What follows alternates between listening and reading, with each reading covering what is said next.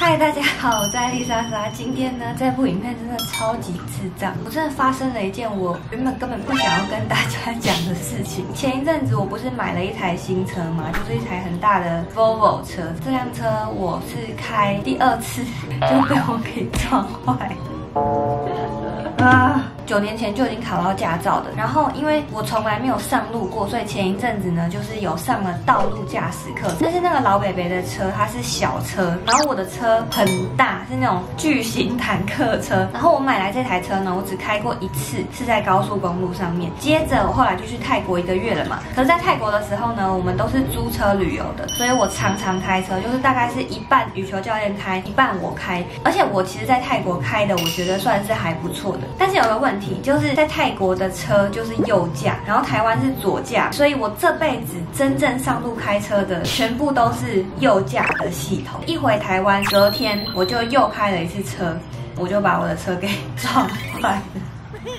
这件事情从头到尾都有另外一个人在旁边看得一清二楚。就是那天我们去五谷，然后就讲好说，你开去程，我开回程。对，因为你说投票的时候你要载我回台中投票。对。那我就觉得说你要载我回台中，好，那你应该要先从五谷会开回来板桥吧？对，你要先具备这个能力。反正你在开的时候，我坐副驾嘛。对。那我会觉得一路上就是一直被后面的车狂扒，我看的就心惊胆跳。但是我也没办法说什么，因为我我也帮不。上嘛，我一帮，那我就不如自己开就好啦。那我就坐在旁边，有的稍微指导你，但是其实你那个状态是完全没有办法听进去指导的。对，就是我超级慌，我整个就是 panic，就是开我那一台战车，我压力真的很大。反正其实，在整个路途的过程中呢，我的副驾这边呢，一直很靠近那个安全岛或者是车子，都靠得超近的。因为我在泰国的训练，就是他一直跟我讲说，我要靠右边，我要靠右边。但是我第一次回台湾，第一次开车，我真的改不过来。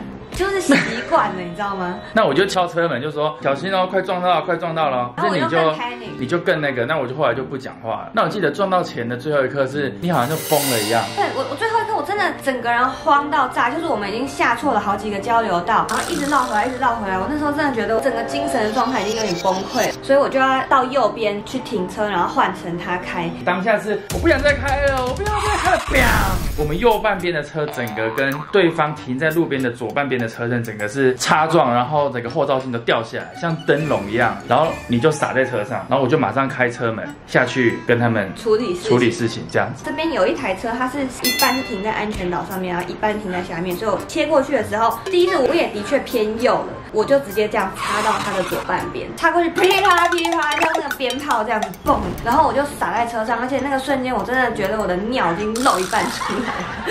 我真的好害怕。你有想过哪一天你万一一个人开车是多么危险的事情？我知道，但我就觉得说一步一步来啊，就是一开始你可能帮我百分之九十，然后后来慢慢减低到七十，然后后来再变成五十，然后慢慢就可以我自己。哈哈哈哈哈反正后来撞车了之后，对方的驾驶就走下来了，然后他就敲我车窗说：“哎，你撞到了。”那个车主就是像一个大哥这样子，那他们是两个人，超派的那种。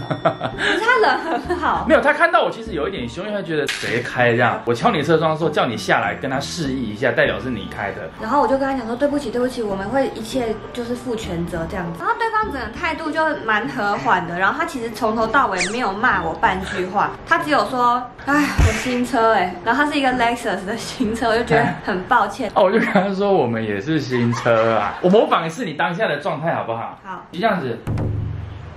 然后我整个腿都在发抖，腿是这样。不知道，我只要去哪里你就跟在旁边这样，你就在后面这样。因为我的车就拿去修了嘛，所以现在我们就要去领我那个刚修好的车，然后我们也要去看看这一次总共我撞的部分要赔多少钱。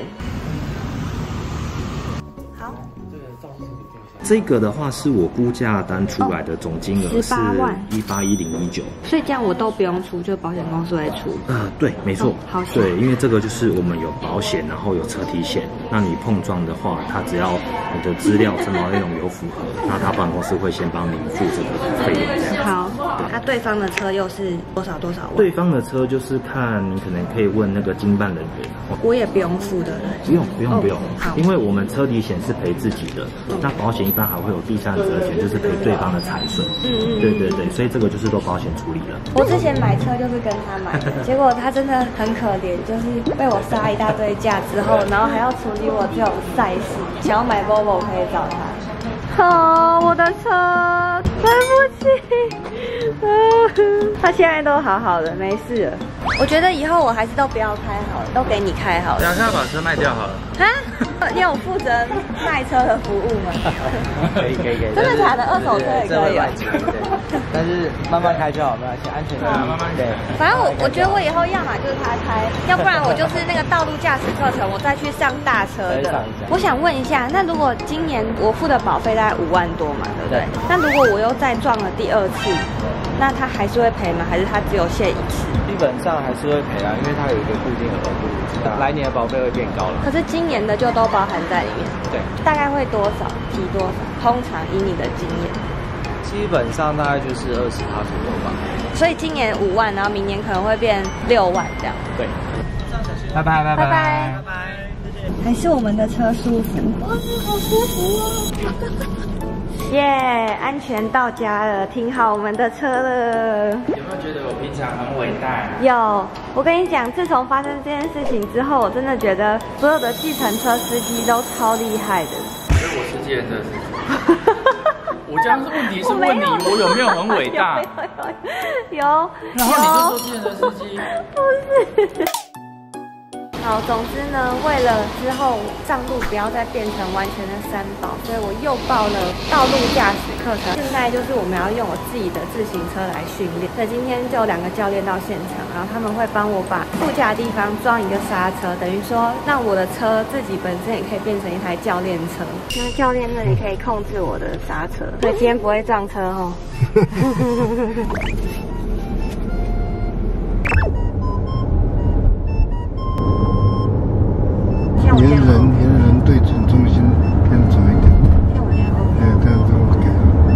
得我开的怎么样？不错啊！你看我都从头到尾都没讲你什么，真的哦、我就代表你开的蛮不错的。其实是不错的，就是像我们跟你讲哎，那距离判断，这距离的判断，然后教练就教我说，挡风玻璃右边三分之一以外的都不会撞，左边的话就是看 A 柱，在 A 柱以内的就不会撞。对，那重点就是你的自信心不能被击垮，你还是要继续开。对，因为教练刚刚跟我讲说，其实前半年都蛮容易会擦擦撞撞，可是很多人就是擦撞了一两次之后，就会心灵受创，然后就不敢再开信。心就不足了。对，其实我我一开始我也觉得我真的不想要再开了，可是我就会觉得说，那我买这台车其实就是为了要让我自己培养起开车的习惯，可是却因为我撞了一次就放弃的话，那也太可惜了。所以就是靠这些教练团帮我把这个信心给养起来之后，我再自己上路这样。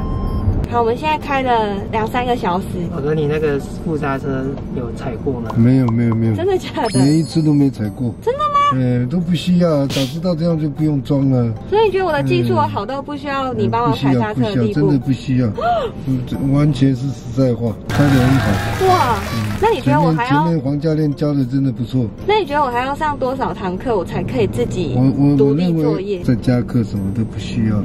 真的吗？所以我毕业了。嗯，没有啦，我觉得我还是再加两堂啊，因为现在我觉得我可能都是因为你们告诉我说，等一下走这一道，等一下走那一道，嗯所以我不会紧张。但是我觉得下一次我们可能可以连那个导航，导航你然后变成我自己看导航看，对对对。对，下一次变导航嗯课变。变那个课程。好，就这样决定。好，我刚上完驾训班，现在回家了。总而言之呢，大家任何人有像我一样这种刚学开车，然后真的很不熟的这种臭三宝，我都可以以我过来人，就是以撞车人的经经验来分享几个小小的建议给大家。第一个呢，就是我觉得新手不建议买大车。原本当然是想说大车坐起来比较舒服，然后修旅车这样子往下看，那个视野比较美。可是呢，你想想看，如果你是开小型车，那你撞车的几率就是这样子。然后大型车的话呢，你撞车几率就是多了人家这么多倍。而且我觉得新手他在开车的时候，当你发现你两边的路都剩下距离很小的时候，你就会莫名的紧张。所以我觉得再给我次机会的话，我应该会买小型车。然后呢，就是新手我也建议大家一定要买保险，而且保险最好要买高一点的。像我们就是买乙式保险，乙式保险大概一年是五万多。那我这一次呢，我自己的车损是十八万多嘛，然后对方的车损好像也是二十万左右，所以我们两个加起来的总金额是四十万左右。所以等于说我花五万元的保险，我就赔到了四十几万的金额，好像还蛮划得来的。